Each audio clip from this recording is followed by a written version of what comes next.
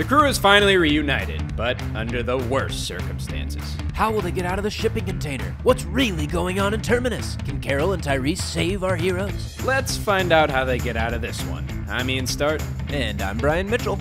and this is the Skybound Rundown.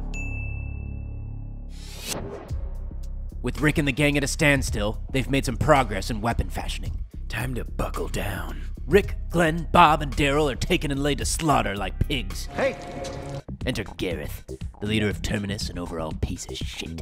Just as our gang is about to be cut, an explosion rattles the town. Could it be Melissa fucking McBride? She explodes a gas tank, allowing hundreds of walkers to pour in, which also lets Rick go apeshit to free his crew. Meanwhile, Tyrese body slams his prisoner and escapes the hideout with Judith, which allows for Rick's 10th heartwarming reunion. The gang is back in the wilderness, and as they seek refuge, they run into a helpless priest who takes them into his church. Jesus Christ! This man of God doesn't seem to be everything he lets on, but they need shelter, so they set up shop. Rick takes the priest with them on a supply run, and he cowers from the water walkers. Aquatic zombies? Yeesh. Looks like everyone's okay, and it's time to head back. Later that night, Bob steps into the graveyard with a gun and is captured by shithead Gareth. Bob wakes up to Gareth and his posse as they are eating his leg. But what they don't know is, I've been bitten, you stupid prick. didn't mean to spoil your dinner. Turns out the priest left a bunch of people to die outside his church, and the crew realizes Gareth has come back for revenge. But Rick's dead set on re-revenge. Just as things are about to go down, ultra badass Rick emerges from the shadows, silent but deadly. The gang is safe, but they've lost one Bob. Time to hop on a bus and get the hell out of Dodge as most of the crew leaves with Abraham, but Rick and some of the others stay behind to wait for Daryl and Carol.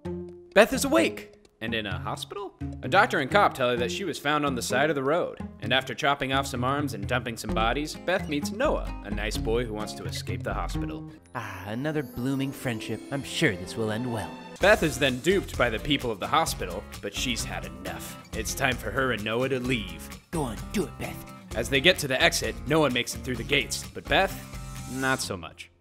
La la la. Abraham and the others are cruising down the road. After they shake themselves off, they find a library. That seems fitting. The next morning, they find a fire truck full of water, but instead of drinking it, they destroy some corpses. Once it's up and running, they get to a stopping point of thousands of walkers. Before they're about to risk all of their lives, Eugene has a confession to make. Not a scientist.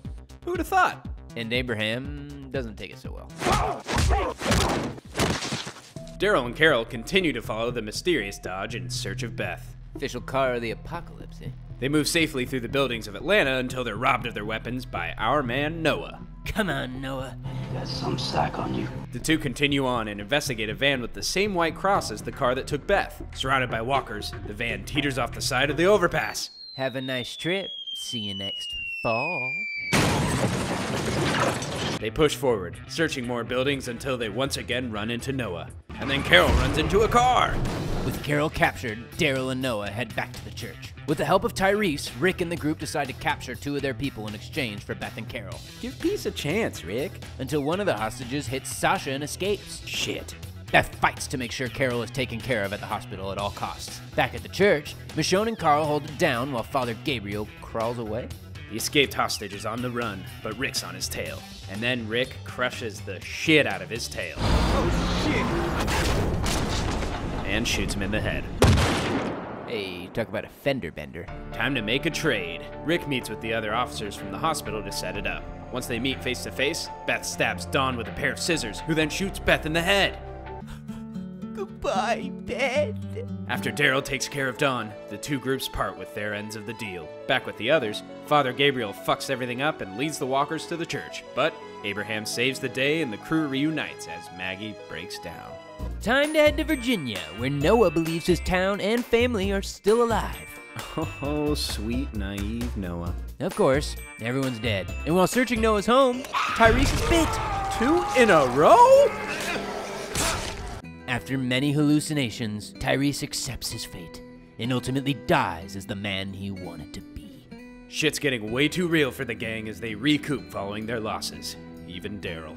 But then they receive a mysterious liquid gift. You mean water? Yep, in the form of bottles and a rainstorm. After collecting as much as they can, they spend the night in a small barn. The next morning, following the storm, they discover that lightning hit right outside of the barn, killing a bunch of walkers. It's a miracle! As Sasha and Maggie watch the sunrise, Good morning. Who's this dude? Maggie and Sasha bring their new friend, Aaron, into the barn to meet the others. he's getting pretty good at that. Rick is suspicious of Aaron's proposition to take them all back to his sweet little town. But Michonne insists on investigating before making a decision. As the others leave to find the cars Aaron mentioned, Rick stays watch and gets some delicious applesauce. Yum, yum, yum, yum, yum, yum, yum, yum. Aaron was telling the truth! Hooray! The gang comes back and gets Rick and they head off to Alexandria. Brought dinner. The gates are opened and our crew is welcomed. Aaron introduces the team to Deanna, who sees them becoming a vital means of survival for Alexandria, and everyone gets settled in. Ah! But after Glenn's weird run with Aiden and Nicholas, Rick and his council seem skeptical of the group's blindness to the horrors of the outside world. If they can't make it, then we'll just take this place. Rick's got his eyes on a pretty little lady named Jessie, but he doesn't lose focus. Carol, Rick, and Daryl meet in secret about a fallback plan, just in case this community doesn't pan out. Carol devises a plan to steal handguns from the armory and hide them. Following a cute little horsey. Oh, Jesus. Moment of silence for this little horsey. Aaron enlists Daryl to help search for new people to join the community. He accepts. Thanks. Party time, party time, party time! The community welcomes the newcomers with cheese and wine. Perfect chance for Carol to steal from them. She passes the guns out to Rick, but Daryl doesn't accept. He's trying to make this work, along with Michonne, who hangs up the old katana. Aiden, Glenn, Tara, Eugene, Nicholas, and Noah head out on a run for parts to get the power grid back up. They listen to some tunes along the way, Now you're going to die. but the run doesn't go so well. Aiden shoots a grenade on accident, killing himself and injuring Tara. Eugene carries Tara to safety. Nicholas, Glenn, and Noah find themselves trapped in a revolving door, and Nicholas gives zero fucks. Nicholas, you fool! Gabriel goes fucking crazy and tells Deanna that the group can't be trusted, and Maggie overhears him. And Carol finds out that Jessie's husband, Pete, has been beating Jessie. Time for Rick to serve some justice. Meanwhile, Sasha goes on a killing spree, and Michonne and Rosita track her down. Carl begins to get some warm, tingly feelings for Enid. You're a man, Carl. And Daryl and Aaron find another little walker with another little W on its forehead. I wonder what that means. Rick proposes a solution to Deanna. Let's just kill Pete, whatever. She wants no part of it. Rick then tells Jessie that he knows and tells her that he can fix it. Then dumb old Pete walks in, and it's time for another battle royale.